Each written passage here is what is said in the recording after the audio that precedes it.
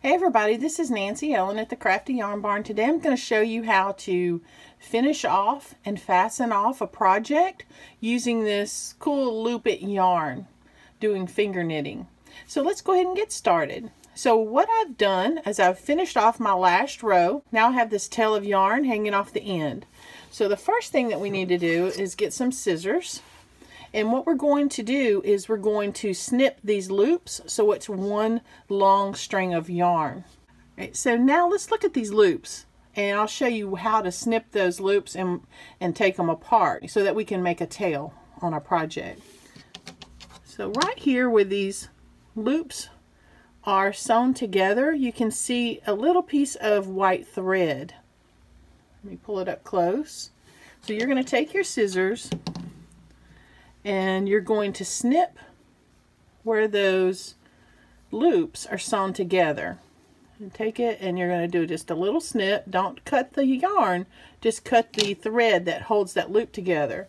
And see when you snip that piece of yarn that loop comes apart.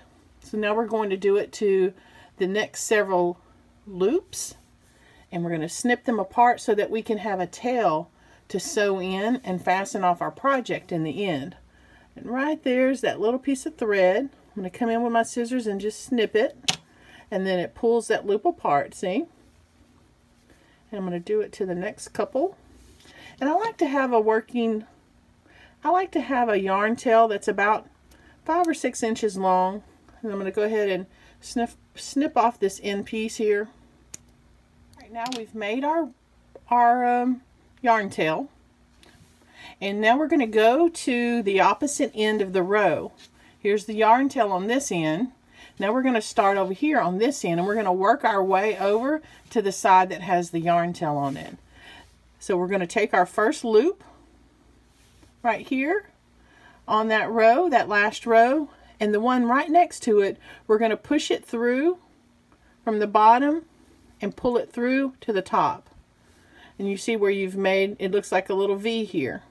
Now we're going to take that loop, the next loop on the row, we're going to take it, push it through from the bottom and pull it through to the top. And what we're going to do that is all the way down. The next loop, push it through, pull it from the top through. We're going to just work our way all the way down this row to the very end. Take this loop, push it through, and the one you push through, you're going to go to the next loop and push that through and we're making our way to the end and I'll show you here in just a second. This is my last loop on this little swatch. Now we've done that all the way down and you see how it makes um, a V pattern right here on this top row? Now you have one loop left. That's the one the very last one on the end. Now you have this yarn tail. So what you're going to do is you're going to take this yarn tail and you're going to push it through that loop and pull it through and then pull it tight. Now what I like to do with this yarn tail is I like to push it back through one more time.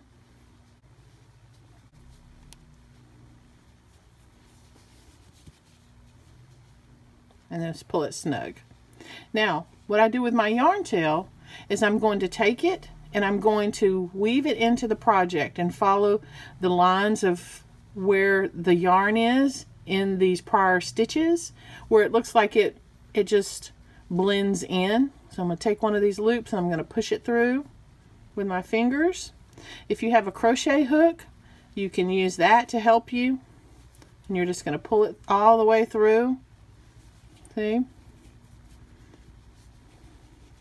And then you're going to take that yarn and you're going to go down to the next row and just work your way. Just I would take it and work it weave it in Here's a hook if you want to see how that looks when you're using your hook. Wrap it around there and just pull it through.